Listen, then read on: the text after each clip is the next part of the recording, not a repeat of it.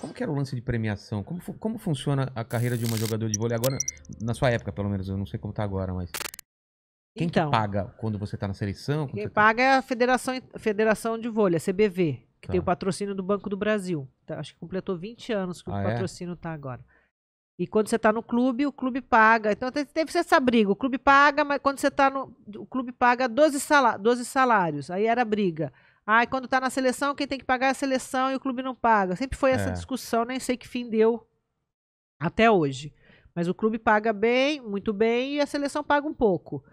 E aí a gente, a gente, quando o Bernardo chegou na seleção, ele fez o seguinte: vamos fazer um acordo.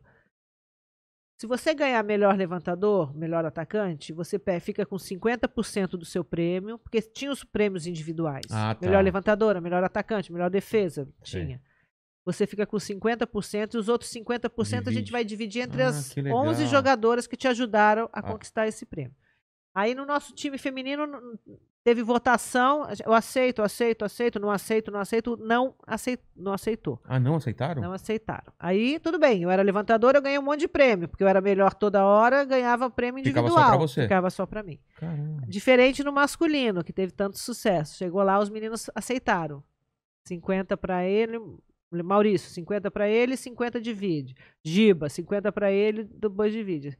Será que tal isso pode ter sido Faz uma diferença. fez uma né? diferença, Claro exatamente. faz, né? jogo, jogo de equipe, né? É, a gente né? tá jogando, todo mundo ganha, não é? Exatamente. Então, assim, então era a questão dos, dos prêmios funcionava assim. E você já ganha. Quando- mas quando é campeão também ganha um prêmio em ganha, dinheiro? ganha. Quando é Olimpíada, tipo medalha de bronze que a gente foi, tinha um prêmio. Medalha de ouro ganhava 100 mil, outro 80, outro Mas tipo, 50. 100 mil pra ser dividido entre. Dividido em todo mundo. Tô chutando o número, nem Tá. lembro quanto foi. Mas mais ou menos, eu não faço nem ideia. Não É em nem dólares? faço ideia. Era um, era um dinheiro grande, 300 mil. Caramba. Essa Grand Prix, esse Grand Prix que a gente joga, sempre deu muito dinheiro. Porque devia ter muito patrocínio de É, na China, as finais eram sempre na China, no Japão, então sempre tinha muito dinheiro envolvido. Então, quando ganhava, uma parte ia para a comissão técnica, uma parte para jogadoras. Hum. Tem gente que conseguiu comprar dois, três apartamentos só com, com os, Com premiação. prêmios. Cara, pessoal da estatística, pessoal de assistente técnico. Que legal. Era muito legal.